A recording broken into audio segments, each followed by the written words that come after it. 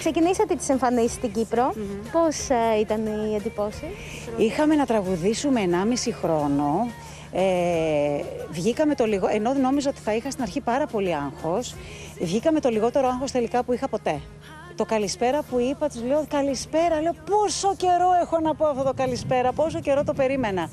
Ε, Πέρασε η ώρα, δεν την κατάλαβα για πόσο γρήγορα πέρασε η ώρα του προγραμματός μου και κάνω και αρκετά μεγάλο πρόγραμμα στην Κύπρο.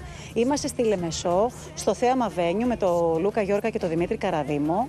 Ξεκινήσαμε το πρώτο δίμερο όπως μου είπες και εσύ. Πάμε τώρα για το επόμενο. Ο Πάνος και Άμμος θα τραγουδήσει σε ένα κέντρο το οποίο θα έχει, το κοινό θα είναι μόνο εμβολιασμένοι. Ναι, πολύ καλά θα κάνει. Ε, γι' αυτό το λόγο εμβολιαστήκαμε όλοι. Για να ξεκινήσουμε πάλι τις δουλειές μας, τουλάχιστον εμείς που έχουμε να δουλέψουμε ένα μισή χρόνο και τα λέμε εμείς δεν είναι εμένα, ενώ όλος ο κλάδος του θεάματος. Ε, κάναμε ε, εμβόλια όλοι για να μπορούν όλοι να πάνε διακοπές, ακόμα και αυτοί που δεν έχουν εμβολιαστεί. Να το πούμε αυτό. Να πάνε για καφέ, να πάνε και εκείνοι στις δουλειές τους, να μην υπάρχουν μόνο τα επιδόματα. Γι' αυτό το λόγο εμβολιαστήκαμε ένα πολύ μεγάλο ποσοστό. Κάποια μέρα θα μετράς τις Κάποτε ο Αντώνης Βαρδής σας χάρισε ένα κομμάτι, το «Κάποια μέρα θα μετράς». Τώρα ετοιμάζεστε ε, για να κάνει ε, μια νέα καριέρα. Ακριβώς, το ήταν, ήταν το πρώτο τραγούδι που τραγούδισα το 1998. Ε, μουσική Αντώνη Βαρδί, στίχους Γιούλα Γεωργίου.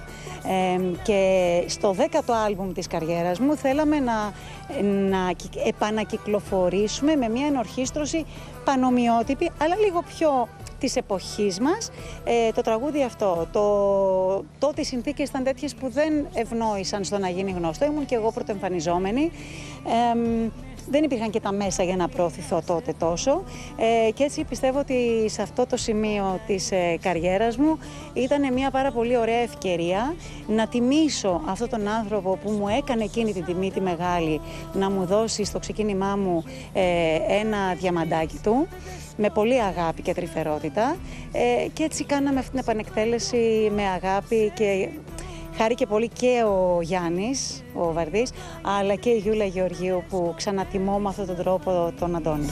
Πήγε και οχτώ, σε ζητώ Περάσαμε και ένα μεγάλο διάστημα που οι γυναίκες και οι άντρες μίλησαν για περίεργες, ε, ενδεχομένως και αμήχανες στιγμές που έζησαν ε, στην πορεία προς την καριέρα τους. Εγώ όλα αυτά τα χρόνια που εργάζομαι δεν έχω βιώσει ποτέ κάποιο τέτοιο, κάποια τέτοια ενόχληση.